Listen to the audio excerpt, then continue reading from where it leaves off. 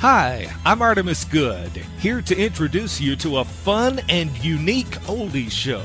It's called Artie's Time Warp, where we turn back the clock to a selected month and year each week from 1965 through 88. We play a ton of music, peppered with memorable news and entertainment tidbits to take you back in time. We publish our music playlist online each week so you'll always know what songs you're hearing. And we include extended album versions when we can find them to give you an added treat. We look back at what's on TV and what's playing in your local theater.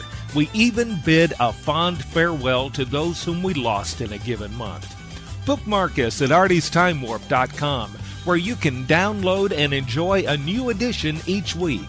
Bottom line, prepare to put your mind into retro.